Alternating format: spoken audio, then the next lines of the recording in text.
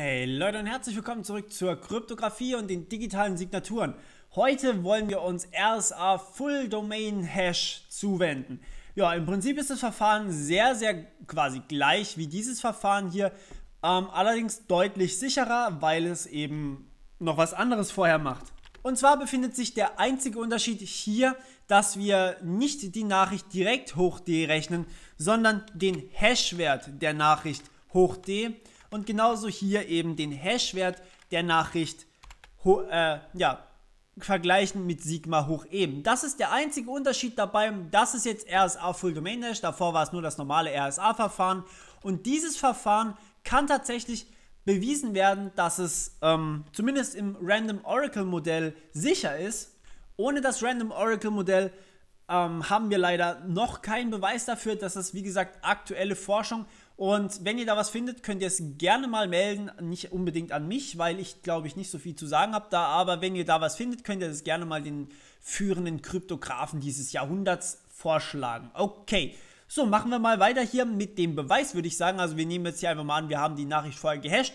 Und jetzt, äh, hätte ich eigentlich gar nicht machen müssen hier, ich will eigentlich nur ein Sicherheitsspiel machen. Jetzt führen wir das Sicherheitsspiel einfach mal durch. C ist unser Challenger, B sind wir und A ist der Angreifer, den wir benutzen können als Subroutine, sodass er, ups, sodass der Angreifer, also wir nehmen an, dass es so einen Angreifer gibt, der dieses Verfahren Full Domain, RSA Full Domain Hash bricht und dann können wir als B den Angreifer A benutzen, um das RSA-Problem zu lösen. Was offensichtlich nicht geht, da wir ja da wir immer noch keine Lösung für das RSA-Problem gefunden haben, außer Quantencomputern. Wir nehmen einfach mal nicht an, dass A einen Quantencomputer hat, sondern dass ein polynomieller Laufzeit läuft. Gut.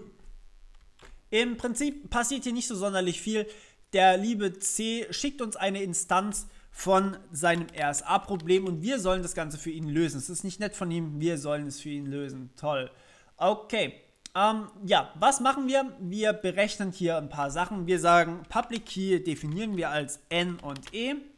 Und Secret Key haben wir offensichtlich keinen, denn ja, D können wir nicht berechnen. Wir haben ja hier immerhin das RSA-Problem gekriegt. Das heißt, Secret Key haben wir keinen. Was wir aber machen können, ist, wir können raten, und zwar nicht den Secret Key, das wäre zu kleine Wahrscheinlichkeit, das wäre total bescheuert, aber wir können einen Index, äh, wie nennen wir ihn, Index I raten, sodass i halt aus, wieder mal wie immer, aus 1 bis q kommt. Q-Anfragen darf der Angreifer stellen, für die, die nicht jedes Video geguckt haben. Der Angreifer darf, wie gesagt, hier nach Q-Nachrichten, nach einer Signatur für Q-Nachrichten fragen und bekommt jetzt als nächstes mal den Public Key von uns zur Verfügung gestellt. Das müssen wir machen, bevor er Nachrichten anfragt, sonst wäre es kein EUF-CMA-Sicherheitsbeweis, sondern nur ein EUF-NA-CMA-Sicherheitsbeweis. Okay. Ähm, was passiert jetzt also? Der Angreifer möchte eine Signatur für eine Nachricht MI erhalten. MI bedeutet jetzt einfach mal, I ist, äh, MJ, nehmen wir I, haben wir schon vergeben, für eine Nachricht MJ.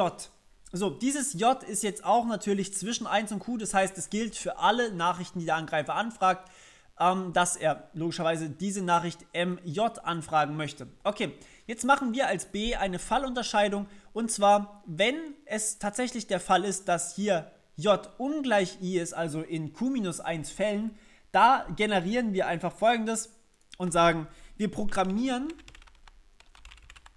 programmiere unsere, unser Random Oracle. Das ist eine wichtige Eigenschaft in diesem Beweis, dass wir das Random Oracle programmieren können. Ähm, wenn wir es nicht programmieren könnten, könnten wir nicht festlegen, wie die Hash-Werte aussehen und das wäre dann doof. Wir müssen zwar immer noch darauf achten, dass die Hash-Werte ähm, gleichverteilt zufällig aussehen, aber wir dürfen sie uns aussuchen als B. Und das ist eben das große Problem, weswegen wir hier im ROM einen Beweis haben und im, mit einer normalen Hash-Funktion haben wir sowas leider nicht. Gibt es aber es gibt was auf RSA basierend, was einen Beweis hat, aber es ist mega ineffizient. Wir werden uns das aber noch angucken, keine Sorge. Okay, also wir programmieren das ROM und zwar so, dass der Hashwert von der Nachricht MJ gleich, äh, Quatsch, nicht Y, gleich XI, äh, XJ hoch E ist. Und dann speichern wir, wobei wir XJ hier zufällig ziehen, also XJ zufällig Ähm, muss ich jetzt aber, glaube ich, nicht hinschreiben. Wobei ich schreibe es hin. xj random. Und das soll natürlich keine Potenz sein. Ähm, und speichere xj. So, das ist jetzt ein ähm, bisschen sloppy hingeschrieben, aber das ist schon in Ordnung. Ja, was bleibt noch übrig? Ähm, wir haben hier noch den letzten Fall, dass mj gleich i ist. Das heißt, das hier war jetzt der Fall, i ist ungleich j, also nicht der Index, den wir hier geraten haben. Jetzt haben wir noch den zweiten Fall, und zwar, wenn das derselbe Index ist, also i gleich j. So, was machen wir, wenn i gleich j ist? Dann sagen wir, wir programmieren unser ROM so, dass h, also der Hashwert von der Nachricht mi, das könnten wir eigentlich auch schon vorher machen, ist aber im Prinzip egal, ähm, dass der gleich y ist, wobei das y hier aus der RSA Challenge kommt, die uns der Challenger hier geschickt hat. So, und jetzt schicken wir das einfach mal zurück an unseren Freund hier, den Angreifer. Und der bekommt dann offensichtlich direkt einfach den Hashwert zurückgeliefert. Ich schreibe jetzt einfach nur Sigma J hin. Ich glaube, wie man den berechnet, haben wir hier oben lang und breit genug besprochen. Einfach hier den Hashwert einsetzen. Schon habt ihr es. Also H von M hoch. Wobei, nee, so ausführlich hatten wir das gar nicht besprochen. Wir haben ja den Secret Key gar nicht. Sollte ich vielleicht noch kurz erwähnen. Und zwar die, ähm, die Signatur ist die, der Hashwert der Message. Ich schreibe jetzt das H doch mal wieder hin. Hashwert der Message hoch D und beim Überprüfen haben wir hier H von M gleich Sigma hoch E.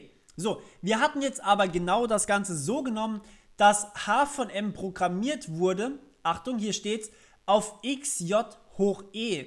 Das heißt, wir haben hier tatsächlich H von M programmiert auf Sigma oder XJ hoch E. Das bedeutet, wir schreiben oder wir geben einfach zurück XJ. Oh, komm schon. Okay, ähm, dann machen wir das wieder so und so. Ähm, das heißt, wir geben ihm jetzt hier einfach XJ, was die Signatur, was tatsächlich eine gültige Signatur ist, zurück. Und ansonsten, ähm, ja genau. Okay, wir hoffen jetzt, warum müssen wir jetzt hier einen Index raten?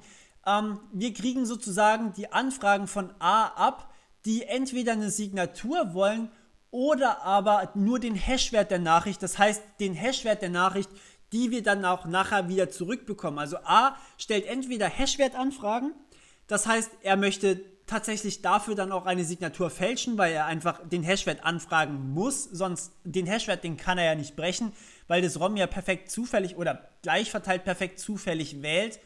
Ähm, und deswegen muss er den Hashwert anfragen. Wir simulieren sowohl das Random Oracle für ihn, das wäre das hier, also den Hashwert, den können wir ihm auch jederzeit zurückgeben. Ähm, und wir sim simulieren ihm auch gleichzeitig noch hier das Oracle oder das Orakel, das ihm Signaturanfragen beantwortet.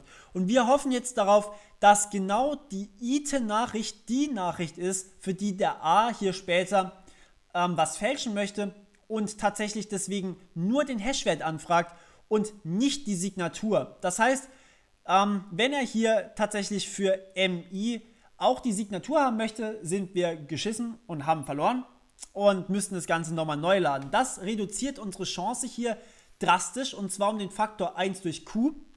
Aber das Ganze befindet sich immer noch polynomiell ähm, in den An es sind ja quasi so viele Anfragen stellt A und A darf nicht super poly viele Anfragen stellen. Das heißt, die Chance ist nicht vernachlässigbar, dass wir hier als B trotzdem Erfolg haben, auch wenn wir dieses I raten müssen. Okay.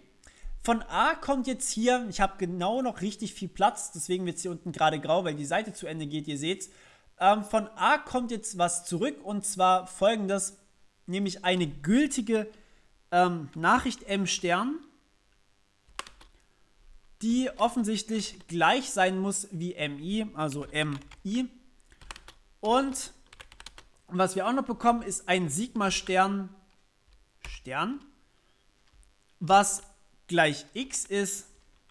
Und ähm, dieses x, also im Prinzip ist es der Hashwert von mi, h von mi, ups, klein geschrieben, h von mi hoch e. Ja, und jetzt haben wir offensichtlich hier eine gültige Signaturfälschung bekommen von, von h. Da ist irgendwo der Verify-Algorithmus. Der stimmt offensichtlich. Ähm, was wir jetzt hier machen können, ist, wir können einfach das Ding hier weitergeben, also dieses Sigma Stern. Das löst dann gleichzeitig auch die RSA Challenge und wir gewinnen das Spiel gegen den Challenger. Ähm, sofern wir richtig geraten haben, was dieses I hier angeht, das ist aber nicht vernachlässigbar, richtig zu raten. Und sofern so ein A existiert und A existiert offensichtlich nicht, denn sonst könnten wir RSA lösen, was wir nicht können.